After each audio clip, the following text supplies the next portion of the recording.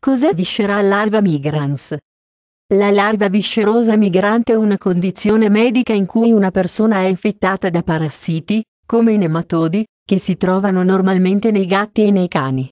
L'infezione è generalmente riscontrata nei bambini piccoli, ma può verificarsi anche negli adulti. La larva viscerale migrante di solito scompare da sola senza trattamento, tranne in rare circostanze in cui la condizione è così grave da portare alla morte.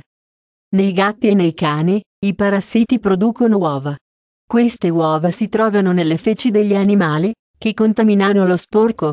Quando questi animali defecano in aree dove gli esseri umani trascorrono il loro tempo, è possibile la diffusione di larva migrans viscerale. Le uova vengono trasferite agli esseri umani attraverso una varietà di modi, molti casi di larva migrans viscerale si trovano nei bambini piccoli perché a volte mangiano lo sporco, un altro modo di acquisire la condizione, indipendentemente dall'età della persona, consiste nel mangiare verdure non lavate.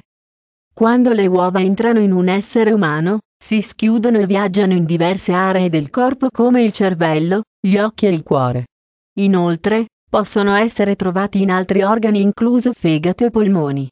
Le aree in cui viaggiano i parassiti possono determinare i sintomi che un individuo affetto potrebbe esibire. I sintomi della larva migrans viscerale sono diversi se la condizione è lieve o grave. Con infezioni lievi, l'individuo interessato potrebbe non manifestare alcun sintomo. Le infezioni gravi, d'altra parte, potrebbero causare dolore addominale, tosse e difficoltà di respirazione. L'individuo affetto potrebbe anche sviluppare febbre, prurito e eruzione cutanea.